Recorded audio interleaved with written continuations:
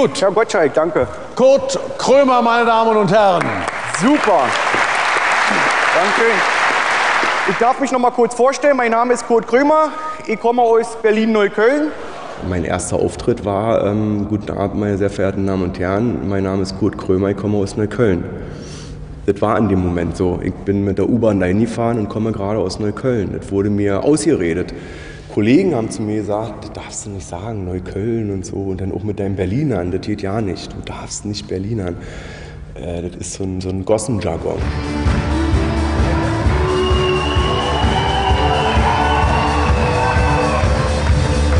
Also wenn ich jetzt zum Arzt gehe und da wird die Frage, was ist der Beruf, dann sage ich nicht, ich bin ein surrealer, postmoderner ähm, Sarkasmus-Clown.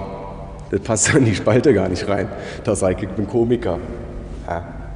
Jetzt äh, muss ich aber mal fragen, hier in Mainz, wo ist hier der Bezirk, der Straßenzug, wo man auf keinen Fall wohnen möchte? Wie, alle Scheiße oder was? nee, wie jetzt? Wie war das? Zwerchallee. Hört sich eigentlich erstmal ganz lustig an, wa? Also, falls Sie nicht wissen, was Neukölln ist, Zwerchallee.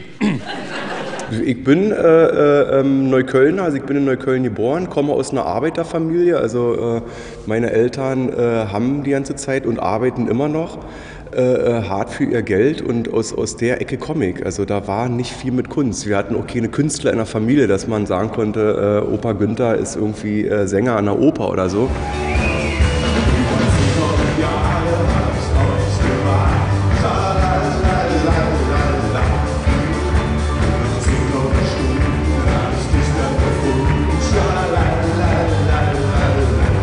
10. Klasse fertig gemacht, habe einen Abschluss dann gehabt und habe dann gesagt, Schule ist, also die Zeugnisse waren eh so schlecht gewesen, dass da äh, ähm, keine, ähm, keine Fortsetzung äh, stattfand. Also die Lehrer, meine, ich das mal kurz erzählen kann, meine äh, Lehrerin, Deutschlehrerin hat der Obdachlosenzeitung Mods mal ein Interview gegeben und sagte, äh, ähm, dass Alexander damals unter großem Applaus des Lehrerkollegiums die Schule verlassen hat.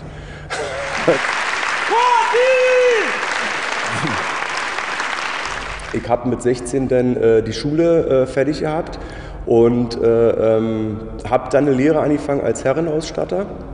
Habe die auch erfolgreich abgebrochen nach einem Jahr, weil mir das zu, zu oberflächlich war. Mich haben natürlich alle für bekloppt gehalten und die sagt, äh, wirf dein Leben nicht weg, ja, du musst eine Ausbildung haben. Und somit habe ich mir alles schön verbaut. Also ich habe immer gesagt, ich möchte jetzt auf die Bühne.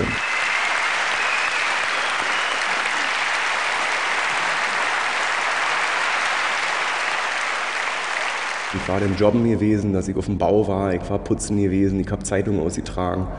Und äh, also um da jetzt mal einen Sprung zu machen, weil das waren dann so, äh, es gab die erfolglosen zehn Jahre. Wie kam es denn dann überhaupt mal zu diesem äh, Gedanken, ich will Schauspieler werden? Hatte ich eigentlich nie. Also ich habe mich nie beworben, ich habe mal hospitiert, weil ich mich damals als 16-, 17-Jähriger dafür interessiert habe und äh, mir war beim Hospitieren, ich bin auch rausgeflogen, weil ich gelacht habe über, über die Hausaufgabenkontrollen, die da gemacht wurden, äh, wo Dörte dann äh, eine Toastscheibe spielen sollte, die den Toaster verlässt. Und ich saß in der Ecke und habe gelacht und dann haben sich alle umgedreht, ganz böse haben sie mich angeguckt und haben gesagt, also wenn das so weitergeht, dann müssen wir uns trennen. Und dann habe ich äh, meinen Hut genommen und bin nach Hause gegangen. Und ab dato war dann für mich klar, äh, ich möchte nicht in eine Schauspielschule, weil mir das zu, ähm, das ist mir zu ernst. Schauspielerei, ich habe da mordsmäßig Respekt vor. Ich habe das für mich so gedeutet, dass ich komischer Schauspieler bin. Dass ich sage, wenn jetzt äh, ein Verrückter gesucht wird, ja, wenn meinetwegen äh, ähm, irgendein Nerd gesucht wird oder so, jemand, der verzweifelt ist mit dem Leben oder der gebeutelt ist vom Leben, der ein Tramp sein soll auf der Bühne oder im Film, dann äh, klingelt bei mir auch immer ein Telefon und dann schnapp ich auch zu. Ich bin mit der Bahn hierher gekommen, ich bin mit der Bahn hierher gekommen, weil ich kein Auto mehr habe. Vom Bin ich hier zum Studio hergelaufen, weil ich die paar Kröten für eine Taxi nicht mehr habe.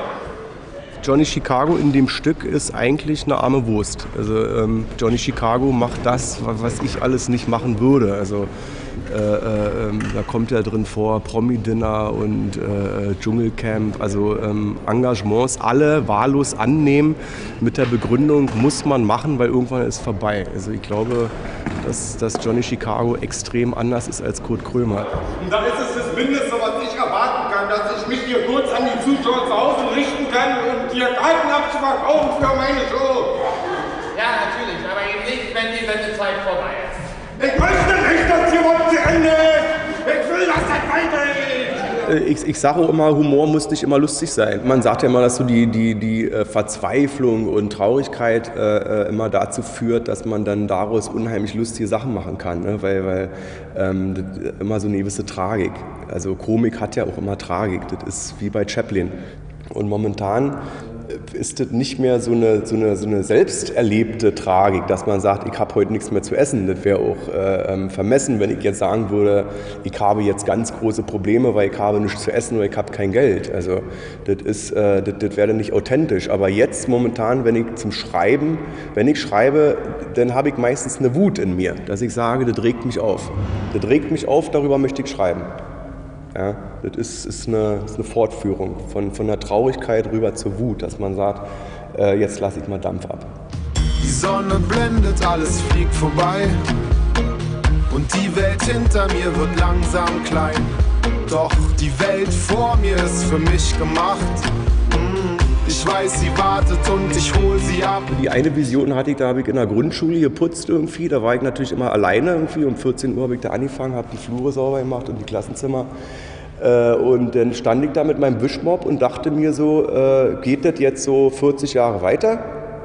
Oder äh, passiert noch mal irgendwas? Ne? Und dann habe ich es halt immer weiter versucht. Also dass ich zum Beispiel dann in der Scheinbar war, in der Monumentenstraße und da meine ersten Auftritte machen durfte. Was teilweise auch von meiner Seite aus damals grottenschlecht war. Also die Leute, äh, da war es auch so, dass sie applaudiert haben, als ich dann wieder weg war.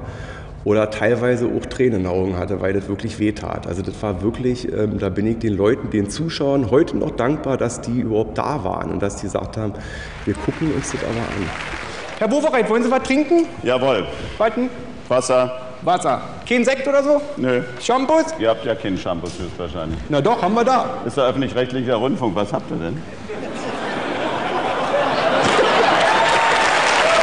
Wollen Sie da aus dem Glas oder Pumps? Sie machen ja eigentlich politisch was. Sie unterstützen Projekte. Ja, ja, ich bin Schirmherr. Also ich habe jetzt, äh, ähm, der aktuellste Stand ist, dass ich jetzt die Schirmherrschaft über Jens Neukölln übernommen habe. Ich mache jetzt demnächst wieder einen Rundgang in Neukölln, dass man sich die ganzen Institutionen, die es da gibt, anguckt, dass man da hingeht und dass man dann natürlich sich mit den Leuten unterhält und fragt, wo fehlt es hier eigentlich? Und natürlich ist Geld immer das Thema Nummer eins, was fehlt, aber es gibt ganz absurde Sachen, dass zum Beispiel ähm, Leute ähm, ehrenamtlich ja, ähm, einen Lesezirkel äh, für, für, für Kinder, meistens mit Migrationshintergrund machen wollen, die dann an, an Moby Dick oder so rangeführt werden, ne, um das zu lesen, um, um einfach dieses Lesen auch zu schulen. Und äh, die haben dann drei Bücher auf dem Tisch, ne, weil, sie, weil sie das Geld nicht haben dafür. Und dass man sich sowas anguckt und dass ich dann immer sage, äh, Geld kann ich jetzt auch nicht so scheffeln, dass ich jetzt alle, ähm, alle Probleme in Neukölln beseitigen kann. Aber ich kann zum Beispiel beim Buchverlag anrufen und fragen, könnt ihr uns mal 100 Bücher schenken?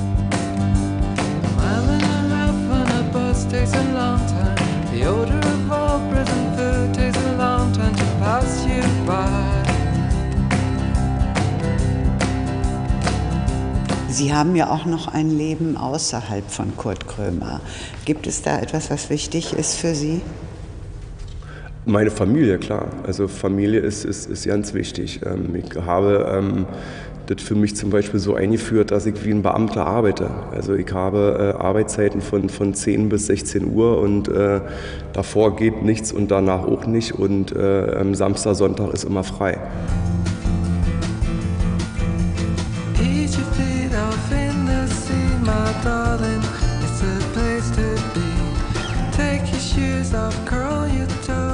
Ich liebe meine Familie. Äh, Ich sehe meine Familie, stehe morgens auf, lächle, äh, da ist eine Liebe. Dann gehe ich äh, zur Arbeit, meinetwegen jetzt hier ähm, zur Aufführung und habe ja da auch so eine Liebe fürs Theater und äh, ähm, ich will jetzt nicht sagen, dass ich meine Kollegen liebe, aber da ist auch so eine Liebe dafür da, dass man sagt, ich akzeptiere euch, ich finde das toll und das ist, das, da ist Liebe ein Motor.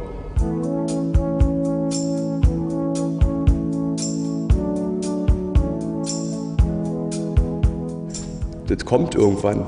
Das kütt wie es kütt und dann geht die Kiste zu, Erde ruf, Feierabend. Das war dann, ne? Letzte Runde. Also ich glaube, dass man wiedergeboren wird. Deswegen habe ich vielleicht auch nicht so die Angst vom Tod. Weil wenn ich jetzt irgendwie äh, einen Apfel esse und den irgendwo hinschmeiße, dann sind da die Kerne drin und dann entsteht da wieder ein neues Apfelbäumchen und der Apfel ist dann weg und dann kommen eben wieder neue. Also das ist so ähm, Natur, man ist ja permanent im Kreislauf.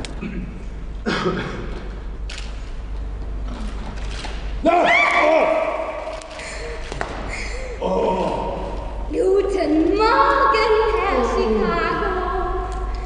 Na? Man spielt mit den Leuten. Ne? Wenn du hier, wie jetzt hier, 800 Leute hast irgendwie, dann, dann ist, das, äh, ist das so ein Haufen von Menschen, die natürlich alle unterschiedlich sind. Jeder hat einen unterschiedlich schweren Tag oder vielleicht ist der eine im Urlaub oder kommt gerade aus dem Urlaub. Der andere hat sein Portemonnaie verloren oder, oder hat Stress zu Hause und so. Und diese ganzen Leute kriegt man dann irgendwann so weit, dass alle gleich sind, dass die das alles vergessen und dass man dann irgendwie so eine Masse vor sich hat, die bereit dazu ist, sich jetzt zu amüsieren und die eben für diese zwei Stunden, die die Aufführung dauert, erstmal alles vergessen. Und wenn ich das schaffe, dann gehe ich äh, glücklich ins Bett abends. Und wenn das vielleicht noch am nächsten Tag anhält, dass sie im Büro dann noch sagen, ich habe gestern Kurt Krömer auf der Bühne gesehen, dann ist perfekt. Aber mehr kannst du als Künstler, habe ich jetzt, äh, ich bin auch schon 35 Jahre alt, in meinem langen Leben gelernt. Das mehr kannst du nicht machen.